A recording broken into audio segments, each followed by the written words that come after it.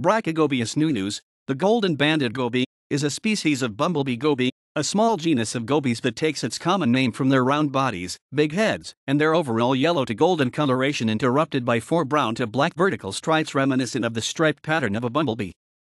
They have also been figuratively described as buzzing from one surface to another inside the aquarium. Like other members of its genus, it is popular as an aquarium fish.